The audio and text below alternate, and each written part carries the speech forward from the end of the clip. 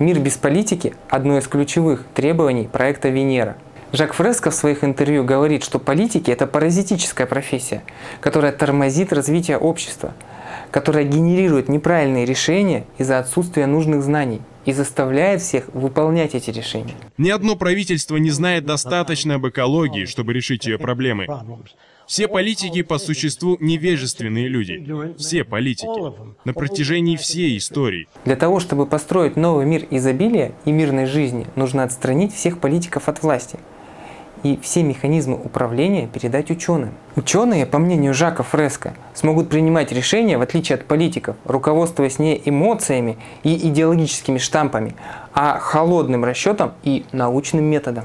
В дальнейшем ученых неплохо бы заменить компьютерами с искусственным интеллектом и автоматизировать все процессы управления и производства. Так мы сможем превзойти порог вычислительных возможностей мозга и полностью избавиться от человеческого фактора, считают сторонники проекта Венера. Людей в правительстве не будет.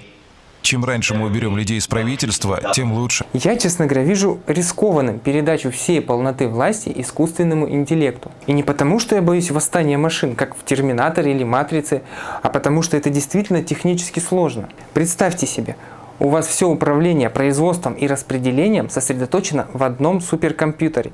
И он в один прекрасный день делает вот так. Однозначно, даже при переходе на полностью автоматизированные системы, компьютеры смогут принимать типовые решения и реагировать на проблемы в зависимости от ситуации. Но ответить адекватно на очень нетиповые ситуации они вряд ли смогут. Таким образом, у нас небольшая группа людей будет заниматься контролем машин, их ремонтом, прошивкой, написанием дополнительных программ по мере возникновения новых технологий и новых товарных групп. Таким образом, у нас гипотетически сохраняется возможность ошибки. Также у нас сохраняется субъективная человеческая составляющая. К примеру, новая технология не может быть внедрена единовременно везде. Где-то она появится раньше, а где-то позже. Соответственно, должен быть какой-то совет ученых, который будет контролировать чтобы приоритетность внедрения определялась научным методом, а не доводами в стиле «а я вот в этом круглом городе родился, давайте с него начнем». Соответственно, у нас политическая составляющая не уходит полностью, даже в таком идеальном обществе будущего. Но о далеком будущем говорить – дело неблагодарное – как показывает практика, чем дальше мы заглядываем в будущее, тем больше у нас шанс ошибиться. Давайте с вами говорить о настоящем и о тех изменениях, которые мы можем сделать уже сегодня. Что будет, если убрать всех политиков, а полноту власти передать ученым? Главная проблема такого сценария состоит в том, что наука сама по себе не способна генерировать цели. Наука создает инструменты для выполнения поставленных целей и задач – Сами цели же не могут быть сформированы научным методом. К примеру, ученые научились расщеплять атом, но само по себе это открытие не дает ответ на вопрос, как его использовать. Как использовать это знание? Построить атомную станцию или создать атомную бомбу – это уже решают политики. Наука – это только инструмент для реализации целей. Это как хирургический нож.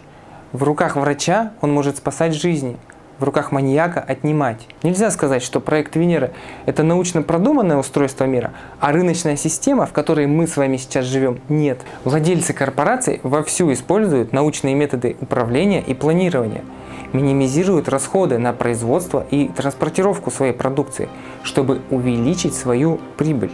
В области экономики ученые уже почти 100 лет придумывают все новые и новые способы продления рыночной системы и минимизации последствий кризисов перепроизводства. Вооружение передовых стран сделано при помощи научных методов. Ученые трудятся не покладая рук, чтобы сделать затраты на производство военной техники меньше, а поражающую способность больше. Может показаться, что наша система образования создана дилетантами, но это не так. Она, так же как и все остальное, разработана высококлассными специалистами в области педагогики и психологии. Наша образовательная система идеально выполняет поставленные перед ней задачи.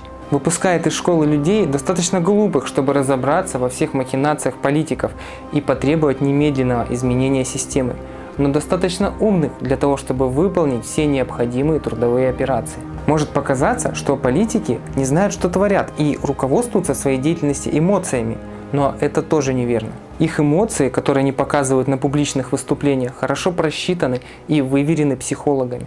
Их решения базируются на холодном расчете и цифрах, а затем уже на ТВ и других СМИ они прикрываются моральными мотивами, лозунгами, выкриками. Мы живем с вами в эпоху широчайшего применения научных знаний. Но проблема в том, что эти знания применяются для того, чтобы выполнять цели и задачи, поставленные олигархией, для защиты их интересов, а не интересов большинства трудящихся планеты. В начале 60-х годов 20 -го века СССР встал перед очень трудным выбором. Дело в том, что те системы управления плановой экономикой, которые позволили догнать передовые страны в 30-е, которые позволили победить в войне противника, превосходящего по экономическим ресурсам, устарели. Во много раз возросший ассортимент товаров затруднял планирование, делал этот процесс чрезвычайно трудоемким и долгим. Быстрыми темпами вводились все новые и новые технологии, в производство поступали все новые и новые машины, что приводило к тому, что почти утвержденный план приходилось переделывать, все расчеты корректировать. Часть ученых предложила решить эту проблему путем уменьшения планирования, децентрализации экономики, увеличением самостоятельности предприятий и внедрением экономических методов саморегулирования. Группа ученых во главе с директором Института кибернетики Виктором Глушковым предложила альтернативный вариант решения проблемы – ОГАЗ. ОГАЗ – система автоматизированного управления экономикой, основанная на принципах кибернетики, включающая в себя вычислительную сеть, связывающие центры сбора данных, расположенные во всех регионах страны. Модель предполагала замену всего аппарата управления экономикой сетью автоматизированных центров.